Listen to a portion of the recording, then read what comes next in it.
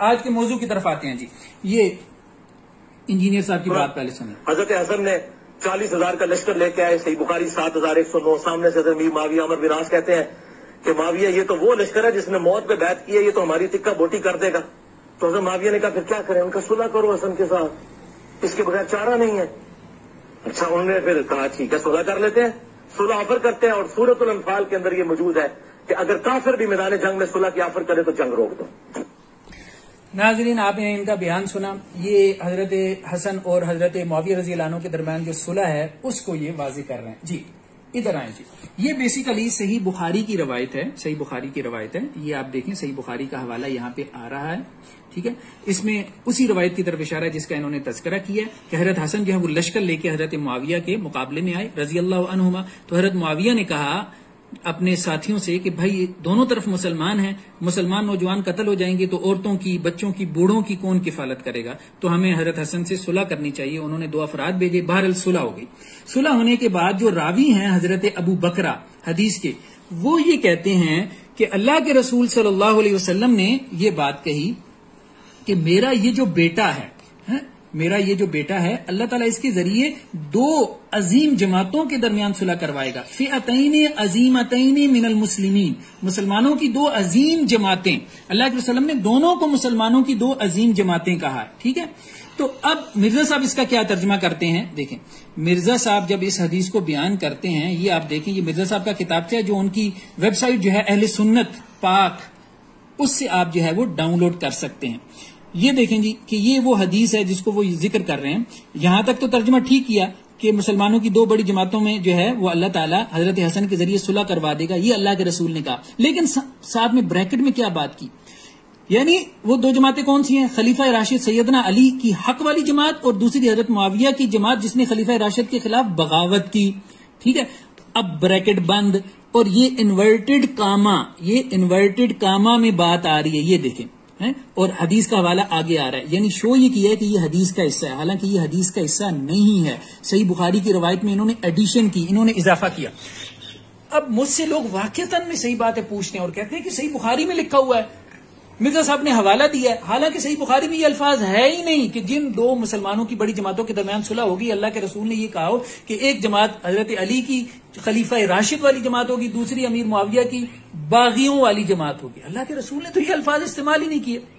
इसने तो हदीसों के अंदर इजाफे किए हैं। दूसरी तरफ़ अब आप देखें कि सही मुस्लिम की रवायत सही मुस्लिम की रवायत में क्या है कि मुसलमानों के दो ग्रोह हो जाएँगे। ठीक है, एक हज़रत अली का और एक हज़रत माविया का रज़ी अल्लाह तीसरा ग्रोह एक और निकलेगा जो खारिज का होगा। तो अल्लाह के रसूल ने फरमाया, तीसरे ग्रोह से कौन किताल करेगा? खारिज से कौन किताल करेगा? अवलत ताइफतईन बिल हक जो दोनों ग्रोहों में हक के ज़्यादा करीब होगा। यानी गोया हज़रत अली जो है, वो हक के ज़्यादा करीब थे हज़रत अमीर मुआविया के। यानी यही है ना अहले सुन्नत का बयानिया। अहले सुन्नत ये नहीं कहते कि हक और बातिल की जंग थी। ये तो मिर्ज़ा साहब ने इसको हक और बातिल की जंग बनाया। ठीक है? अहले सुन्नत का बयानिया क्या है कि दोनों हक पर थे, लेकिन हज़रत अली अहक थे, ज़्यादा हक के ऊपर थे। ये असल में बयानिया है। अब अब देखें, मुस्लिम की ही एक और रवायत है कि जिसमें अल्लाह के रसूल सल्लल्लाहु अलैहि वसल्लम ने क्या अल्फाज इस्तेफाल मारे? अकरब ताइफतैन मिनल हक। दोनों ग्रोहों में जो हक के ज़्यादा अकरब, करीब होगा। ये अल्फाज अब आप देखें, ये रवायत जब मिर्ज़ा साहब बयान करते हैं, यहाँ देखें जी मिर्ज़ा साहब ने यह रवायत इसी तरह से बयान की कि मेरी उम्मत में दो ग्रोह हो जाएँगे। कहते हैं जी, सैयदना अली और हज़रत अमीर माविया ठीक है? फिर कहते हैं जी तीसरा ग्रोह निकलेगा खारिज का। फिर कहते हैं जी खारिज से कौन किताल करेगा? जो दोनों ग्रोह में से अकरब इल हक होगा, यानी हज़रत अली का ग्रोह। ठीक है, हज़रत अली ने खारिज से किताल किया, मान लिया। अब हदीस में क्या अल्फाज हैं? जो हक के ज़्यादा करीब होगा, इसका मतलब क्या निकलता है? कि दूसरा भी हक पे होगा। अल्लाह के वसलम के अल्फाज का यही मतलब निकलता है ना? लेकिन मिर्ज़ा साहब क्या तर्जमा कर रहे हैं? अकरब इल हक से मुराद के हक वाला ग्रोह, यानी दूसरे ग्रोह को उन्होंने बातिल ग्रोह बनाना है। ठीक है? इसलिए इसका तर्जमा कर रहे हैं हक वाला ग्रोह कहते हैं, दलील इसकी क्या है? कुरानी मजीद की आयत है। कौन सी? Surah Aal Imran one sixty seven अब ये आयत यहाँ पर नकल करने की इनको ज़रूरत नहीं हुई, ठीक है? उसमें कहते हैं जी, अकरब का लफज इस्तेमाल हुआ। उस माने में जिस, जो माना मैं यहाँ पे कर रहा हूँ। अच्छा अब अकरब का माना हम इसमें देखते हैं कुरानी मजीद की इस आयत में तो ये आदमी कुरानी मजीद में कैसे कैसे तहरीफ करता है? देखें जी, सबसे पहले आप जो है वो शिया आलमी दीन का तर्जमा देखें, मोहम्मद हुसैन नजवी साहब का। नजवी साहब जो है, वो ये कहते हैं, ये ये अल्फाज ये लफज इस्तेमाल हुआ अकरब का, ठीक है, मुनाफिकीन के बारे में। तो कुरानी मजीद क्या कह रहा है, गजवा के मुनाफिकीन के बारे में, कि वो उस दिन जो है ईमान, बनस्बत ईमान के कुफर के ज़्यादा करीब होंगे। ये ज़्यादा करीब तर्जमा है। मिर्ज़ा साहब, ज़्यादा करीब ज़्यादा करीब, ठीक है? इसके बाद अब आप और तर्जमा देख लें, किसी का भी तर्जमा आप देख लें, जैसे मौलाना अहमद रजा खान साहब, ठीक है? ये बरेली स्कूल ऑफ़ थॉट के बड़े जो है वो ओलामा में से हैं, वो क्या तर्जमा करते हैं? उस दिन जहरी ईमान की नस्बत खुले कुफर से ज़्यादा करीब, अकरब, ज़्यादा करीब, ठीक है?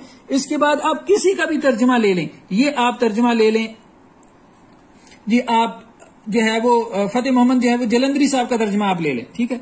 इनका तर्जमा ले लें। उस दिन ईमान की नस्बत कुफर से ज़्यादा करीब। देखिए, सबने यही तर्जमा किया। तो अकरब इल हक का तर्जमा यही है कि हक के ज़्यादा करीब। अब हक के ज़्यादा करीब तर्जमा जो है वो इन्होंने किया नहीं है। मिर्ज़ा साहब ने डंडी मारी है कुरान मजीद की और फिर उस डंडी को साबित करने के लिए कुरान मजीद में तारीफ़ कर दी। किसी एक स्कूल ऑफ़ थॉट के आलमी दीन का तर्जमा जो है वो नहीं मिल रहा। अकरब के, अकरब कंपेरेटिव डिग्री है। कंपेरेटिव डिग्री का मतलब यही है कि वो हक के ज़्यादा करीब होंगे। तो मिर्ज़ा साहब ने जब ये देखा कि अकरब इल हक रसूल सलम की हदीस से जब ये साबित हो रहा है कि अमीर माविया का ग्रोह भी हक पे होगा हज़रत अली ज़्यादा हक पर होंगे तो उन्होंने अपना जो उनका नरेटिव और बयानिया था उसको साबित करने के लिए कुरान मजीद में भी तारीफ़ शुरू कर दी ठीक है तो अल्लाह के रसूल वसल्लम ने ऐसे लोगों के बारे में कहा है कि देखो मुझे डर है मेरी उम्मत के बारे में किससे डर है अल आइमत अल मुजिल्लीन वो जो फराडियों के इमाम होंगे जो फराडियों के इमाम होंगे तो ये बेसिकली फराडियों के इमाम है देखिए ना, ये फ्रॉड किस तरह से लगाते हैं? अब यहाँ पे ये नीचे शराइत बयान कर रहे हैं कि जिसके ऊपर सुलह हुई। अब शराइत के हवाले क्या नकल कर रहे हैं?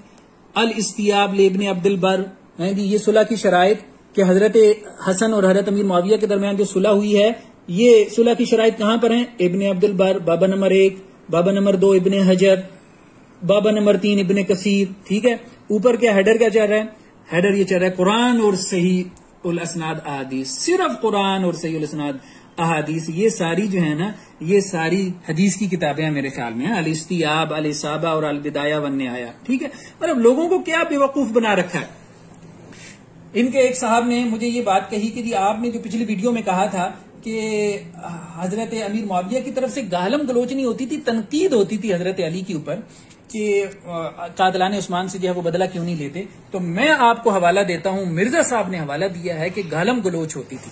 तो मैंने कहा, ठीक है जी, आप मुझे हवाला नहीं कहते हैं, जी, हज़रत उमर बिन अब्दुल अज़ीज़ के दौर तक होती रही। मैंने कहा, हवाला नहीं, ये देखें जी, ये मिर्ज़ा साहब ने हवाला दिया जी। हवाला क्या दे रहे हैं कि जी? अलामा जलालुद्दीन सुयूती मुतवफ़ा नौ सौ ग्यारह हिजरी खुद ही लिख रहे हैं, ठीक है? कि बनु मैया जो अपने खुतबात में सैयदना अली बिन अबी तालिब को गालियाँ दिया करते थे अलामा सयूती साहब जो है, तारीखुल खुलफा में लिख रहे हैं, जी, ये बाबा, ये ये तारीखुल खुलफा कुरान हदीस है ठीक है मतलब अजीब आदमी है। एक तरफ़ कहता है, ना मैं बाबी, ना मैं वाबी, मैं हूँ मुस्लिम इलमी किताबी मिर्ज़ा साहब, आप अपना शेर माजरत के साथ तब्दील करें, आप यूँ कहें, मैं हूँ बाबी, मैं हूँ बाबी, मैं हूँ मिर्ज़ा, फिल्मी किताबी, क्योंकि आप फ़िल्म तो करवाते हैं। कुरान कुरान और हदीस के साथ जो खलवाड़ करते हैं आप, ये फ़िल्म ही तो है, और क्या कर रहे हैं? या फिर आप, अगर कोई, ये शेर आपको पसंद नहीं आ रहा तो फिर आप इस तरह से इसको कर ले। मैं हूँ बाबी, मैं हूँ बाबी, मैं हूँ मिर्ज़ा।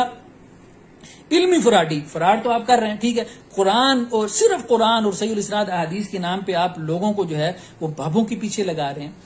तो मतलब ये है कि आप लोगों की चीखें जो है ना, पुजारियों की चीखें बता रही हैं कि बुद्ध के ऊपर सही जगह पे जरबें जो है, वो लगना शुरू हो गई हैं। तो इसको ज़्यादा से ज़्यादा शेयर करें। लोगों ने समझा था शायद ये जहालत का बुद्ध जो है वो कोई स्टील का या ये जहालत का बुद्ध जो है वो शायद कोई आयरन मैन होगा, लेकिन दो चार जरबों ने साबित कर दिया, चीखों ने साबित कर दिया। ये दम तोड़ती तो चीखे हैं। बाहर ये तो मुहिदीन के लिए तो एक सुरीला म्यूज़िक ही है ना।